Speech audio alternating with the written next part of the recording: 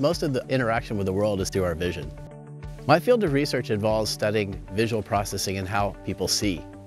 When I began to study this field, I was struck by the observation that there are more than 250 different genes when mutated would cause inherited retinal degeneration. The genes that are programming those people to go blind actually are present from before birth. But what's amazing is that those people actually have useful vision and can see for 25, 30, sometimes 60 years before they start losing their sight. I actually thought this was an important research question. Can we identify how that works? Can we see how people survive with useful vision for many decades and could we use that and exploit that to develop new therapies to prevent people from going blind? The Center for Vision Research has allowed us to develop a gene therapy center where they actually produce gene therapy vectors. And those vectors have been used in some important clinical trials uh, to treat blindness. We have identified important growth factors that regulate that. One of them is called a protein called leukemia inhibitory factor.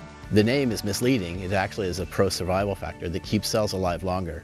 We've identified this receptor and signal transduction pathway, and we know that this pathway, when activated, will allow photoreceptors to survive. The importance of that is now we have a target, and we've been developing new gene therapies based on that target so that we can activate that pathway in vivo.